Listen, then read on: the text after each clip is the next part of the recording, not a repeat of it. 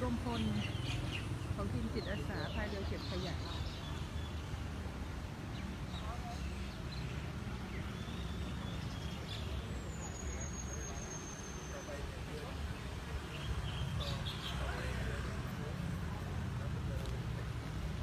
คือลงเช้าชั่วโมงนึงของโมงทั้งหมด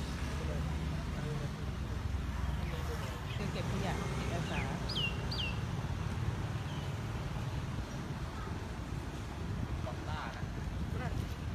วันนี้เราจะใช้เรือประมาณสี่ลำนะสี่ลำในการที่จะลงเก็บขยะรวม กันที่บริเวณท่าน้ำหลังสวนผู้ว่าราชการจังหวัด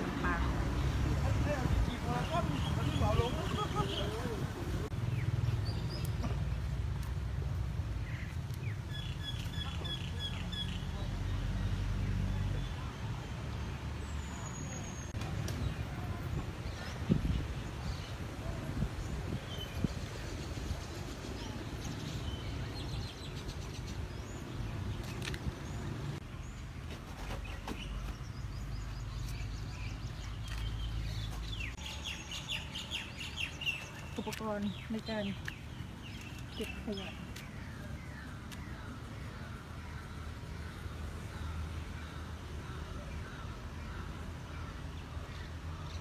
เริ่มครั้งแรกนี่คือ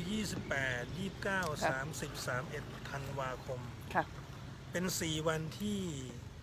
ผมตัดสินใจ เพราะว่าผมพายเรือฉลองปีใหม่ อืม โดยการพายเก็บขยะฉลองปีใหม่ ค่ะ แต่ 4 วันนี้ทำให้ผมมานั่งคิดว่า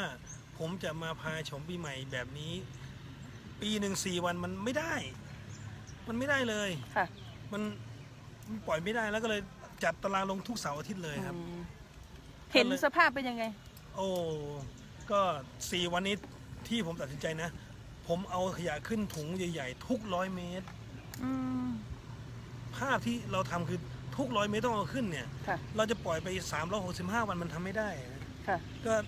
เอาลงทุกอาทิตย์นี่ลงทุกสัปดาห์คือเสาร์อาที่เนี่ยประมาณ 8 ถุง 9 ถุงไม่เคยลดลงเลยนะค่ะส่วนใหญ่ที่เราเก็บเก็บเนี่ยค่ะที่พบว่าขยะอะไรมากที่สุดนะที่ที่เราพบขวดถุงพลาสติกถุงเซลล์ๆบ้านเฮาเนี่ยครับค่ะถุงพลาสติกมันเยอะมากขวด ถุงพลาสติกกล่องนมเครื่องดื่มชูกำลังอืมเครื่องดื่มกระตุ้น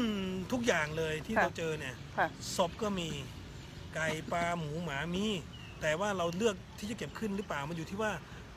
มันเพิ่งลงหรือว่ามันมีกลิ่นไหมเพราะเราพายเรือไงฮะอืมอืมถ้าเอาขึ้นต้องขุดหลุมก่อน แล้วก็เอาขึ้นมาเทลงหลุมแล้วฝังกบเลย ค่ะ ต้องแบบนั้นนะครับ อันนี้มันมันจะเป็นพิธีแบบทางบ้านเราทางเหนือ ที่เวลาเขาทำพิธีแบบสะเดาะเคราะห์อะไรต่างๆ ใช่ไหมคะพี่ตุงเออที่ใช่ที่ครับเห็นที่เราเห็นตอนเนี้ยค่ะ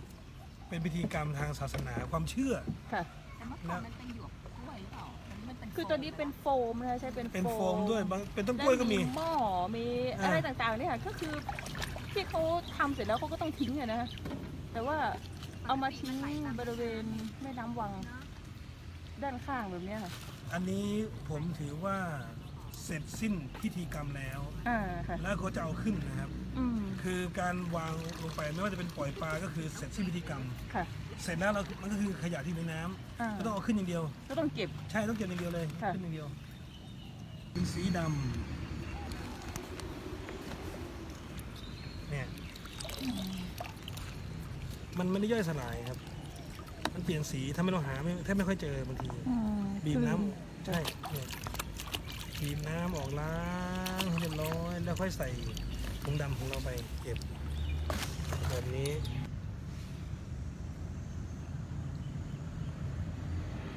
ชอบมากยังไงเนาะกดเรื่องอันนี้ต้องใช้ มือจับเอา แล้วก็เทน้ำออกกันออกไปซะแล้วค่อยๆใส่เสียบหัวลงอย่างนี้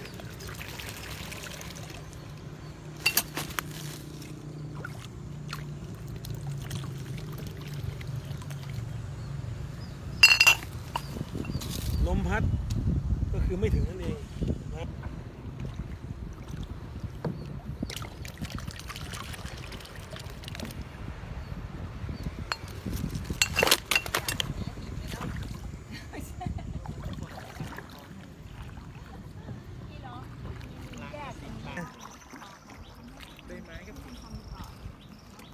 นะครับใบไม้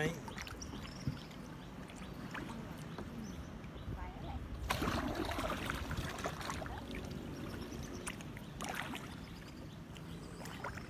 เราอาศัยสะพานเป็นร่มเงานะ ร้อนมากเขาร่มไปเลย อยู่กลางแม่น้ำเนี่ยถ้ารณรงค์ให้เขาทิ้งป้ายสะพานเยอะๆเอออืมครับเบ็ดหลุดแต่มันกินอะไรต่อไปต้มไม่ได้แล้วก็ตาย ตายอะไรกินอะไรต่อไปไม่ได้ก็ตายไม่เหลือคนเรา มันลอยขึ้นอย่างเดียวแบบนี้ย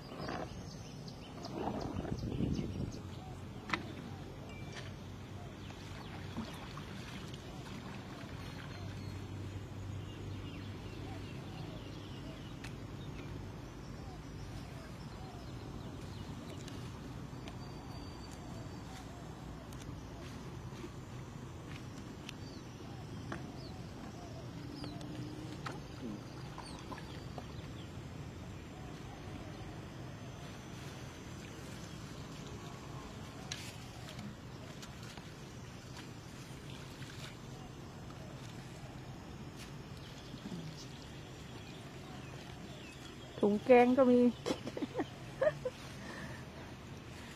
ถุงแกงถุงอาหาร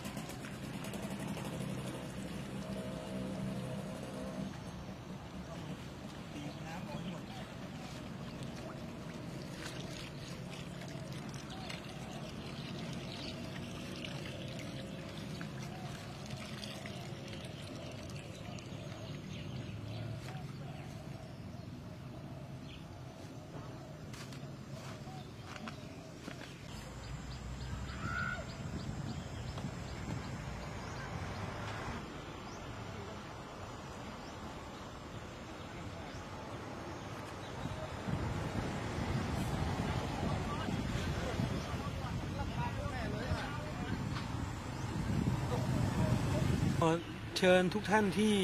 มีใจนะวันนี้ก็มีหลายท่านที่มาเป็นคุณครูด้วยค่ะ ที่มาที่มีใจอยากจะเอาอย่างง่ายๆเลยครับว่าถ้าไม่เคยพายเรือ มานั่งก่อน อืม มานั่งบนเรือก่อน ค่ะ อ่ามานั่งแล้วก็ดูว่าอ๋อมันอย่างนี้นะ มันโคลงเคลงนิดๆนะ แต่มันก็เป็นมี balance ของมันเองอะมันครับ มันอยู่ได้ ค่ะ อ่า แล้วก็มีสองที่นั่งอย่างเงี้ย ก็นั่งได้ ลองนั่งดูก่อนแล้วก็ต่อไปก็อยากพายละทีเนี้ย อืม อ่า ไม่พายก็ พายซ้ายพายขวาค่ะ พายซ้ายไปขวาพายขวาไปซ้าย เท่านี้เองอืม พายเรือ ทักษะพายง่ายซ้ายไปขวาพายขวาไปซ้าไปซ้ายยเออพายเลยๆต้องลงมือททำเลย นั่นแหละ เออ แล้วก็เป็นเองห้านาทีก็เป็นเองครับ ไม่มีอะไรเลยอยากดูที่เราเตรียมไว้เนี่ย เดี๋ยวแล้วพากันลง จะรักแม่น้ำวัง ค่ะ เราจะรักกิจกรรมนี้มากเลย แล้วเราตอนนี้เรามีเสาร์อาทิตย์นะ ต่อไปเราจะมีทุกวันเลยเจ็ดวันหนึ่งสัปดาห์เนี่ยมีทุกวันเลย เพราะเราอยากให้แม่น้ำวังเนี่ยสะอาดที่สุดเท่าที่เราทำได้ ใสที่สุด แล้วก็เล่นได้ โดดได้เล่นได้ อ่า ต้องการอย่างนั้นเลย มาครับมาเลย อย่างเดียวเลยมาเลย เพจหรือในเฟซก็ใกล้ตรงวังวิว เพราะเราทำวังวิว วังวิวคือวิวแม่น้ำวัง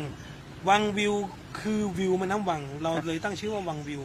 จะเกิดขึ้นที่ลำปางประมาณสิ้นเดือนเนี้ยเราจะเปิดสิ้นปีเนี้ยครับเราจะได้เล่นน้ำวังกันนะำอ่าตอนนี้ก็จะมีจิตอาสาขึ้นเพิ่มแล้ขึ้นว โอ้ยดีใจที่พี่ขึ้นแล้วเพียงมาลงมาแรกเลย เออน้ำเข้าหมายหมายความว่าเออเน้นขึ้นแล้ว ต้องขึ้นได้แล้วปลอดภัยแล้วปลอดภัยแล้วปลอดคภันยไม่แล้วต้องเป็นไร